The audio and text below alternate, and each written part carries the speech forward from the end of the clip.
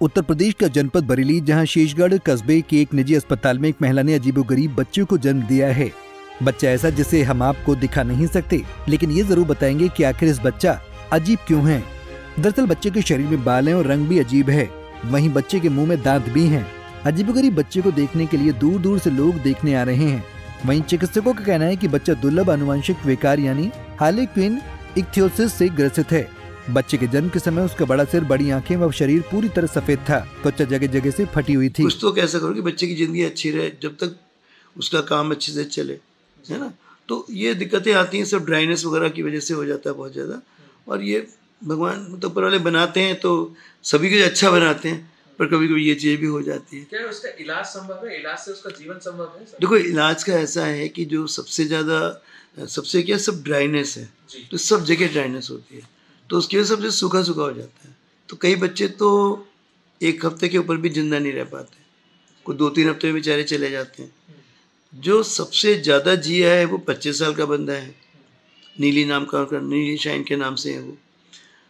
लेकिन इलाज का देखो ऐसे ना, आपको स्किन को ही मॉइस्चराइज करते रहना है। तो उसके लिए थोड़ी दवाइयाँ होती हैं, मदद करती हैं। बाकी एक्सटेंसिव मॉइस्चराइजेशन आपको करना पड़ता है। स्किन जो है इसकी सफल हो जाए, ड्राई ना रहे।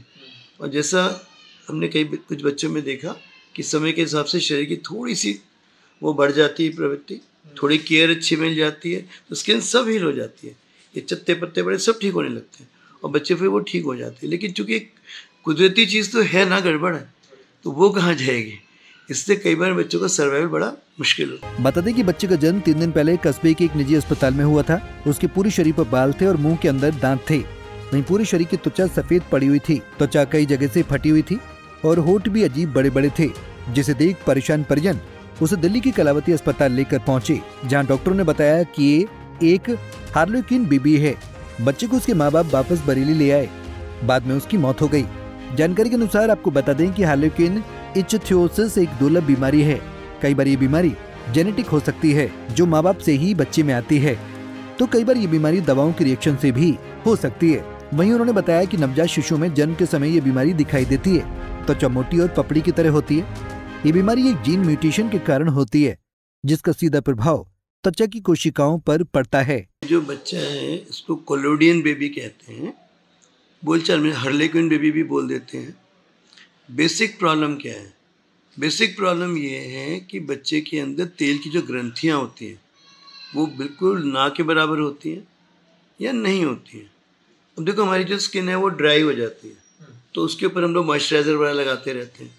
पर शरीर की अपनी भी चमड़ी में प्रवृत्ति है कि थोड़ा ऑयल निकलता है, जिससे अपनी स्किन ठीक रहती है।